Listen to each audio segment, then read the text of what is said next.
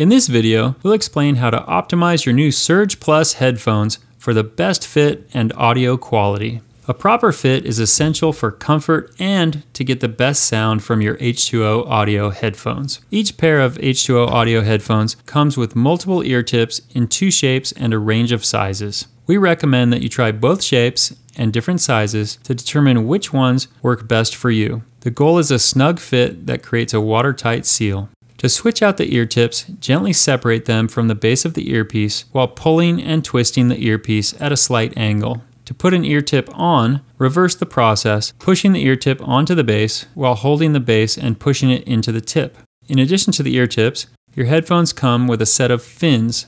The black fins are used to hold the earphones in place during activity. They can be paired with any tip, round, or cone shape. Three sizes of fins are included, and each is marked with its size and either right or left for the corresponding ear. If you choose to use the fins, put them on the base of the headphones first, then press on the ear tip. The pointed end of the fin should face forward when the headphones are in place. Rotate it slightly to ensure a secure fit. When swimming, the headphone cord can cause drag and dislodge the earphone.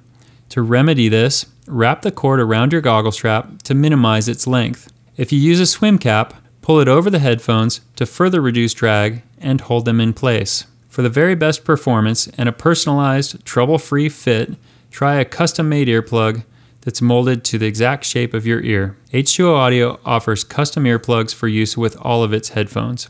Now, let's talk sound quality and troubleshooting. Your headphones are designed to deliver great sound in and out of the water. If you're experiencing muffled or distorted sound from your new headphones, you might need to equalize the pressure in the headphone speakers. To equalize the pressure, remove your headphones from your ears and play the speakers at full volume for 30 or more minutes. The sound's vibration will gradually reset the pressure. You can also try blowing into the speakers. If you experience issues with sound quality after swimming with your headphones, there may be water trapped between the speaker and the earplug. Tapping the speakers or blowing into them might release the water.